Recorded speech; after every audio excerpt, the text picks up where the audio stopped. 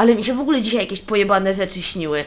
Śniło mi się, że jakiś samolot nad moją głową zlatywał do lądowania, ale coś jakoś zakręcił, wykręcił śmigłem i zaczął się tak obracać, obracać, obracać i nagle wylądował tak runął w ziemię i ja wyciągałam stamtąd tych rannych ludzi, a oni mówią, nie no spoko w sumie było, trochę nas pokręciło, ale było git, nie? Takie jakieś rzeczy mi się tam dziwne śniły. Potem ja ściągałam te paznokcie. Potem jeszcze gdzieś z kimś gadałam. Jakieś pojebane, pojebane. No.